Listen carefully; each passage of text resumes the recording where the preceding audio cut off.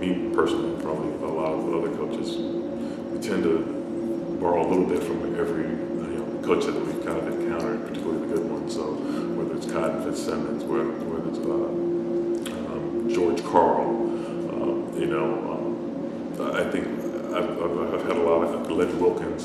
You know, I've had a lot of very good coaches, uh, and uh, they had, some of them had different styles of how they approach players. But the biggest thing I, take from all of them was the ability to communicate with your players on different levels, not just about the game, but about life. Because there's a lot of you know metaphors in basketball that translate to real life. You know, teamwork and, and never giving up and fall down. You know, getting back up and giving it all you got. You know, um, you know, I had some coaches that were into you know always giving quotes. You know, like I said, players who are talented that don't work hard get beat by players who work hard don't have talent. That kind of thing. You know, so you know, I, I, think that you just take a little bit of wisdom from every every coach that you, you get, and uh, and, you, and you use that and, and move forward.